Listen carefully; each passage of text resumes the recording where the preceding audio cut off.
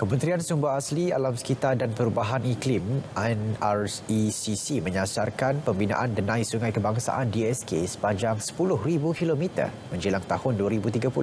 Menterinya Nik Nazmi Nik Ahmad menerusi kenyataan berkata untuk tahun ini pihaknya menyasarkan pembinaan sejauh 1,000 km.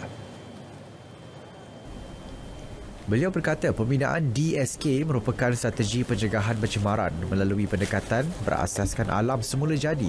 Ia akan dikenalikan Jabatan Pengairan dan Saliran JPS. Dengan wujudnya denai di tepi sungai, ia akan menggalakkan aktiviti seperti berkelah, memancing dan berbasikal dalam kalangan komuniti setempat. Bagi memastikan sasaran itu dicapai, NRECC dengan kerjasama kerajaan negeri akan mengenal pasti kawasan-kawasan resap sungai untuk dibangunkan. Ujarnya, projek rintis DSK ini akan bermula di kawasan belakang Hospital Universiti Sains Malaysia dan melalui kawasan hutan bakau di sekitar Mint House Camp, Kubang Kerian.